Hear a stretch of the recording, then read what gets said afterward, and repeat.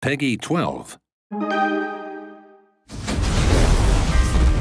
Il y a des siècles de cela, une explosion de rayons gamma était sur le point d'anéantir l'humanité.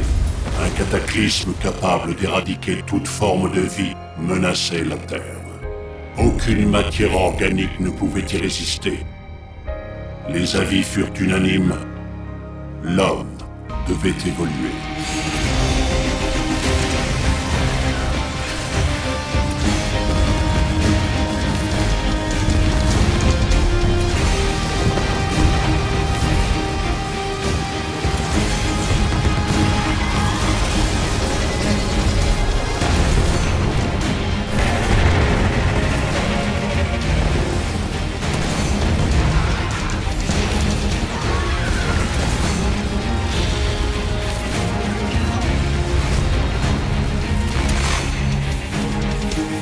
Destin vous appelle, conscience.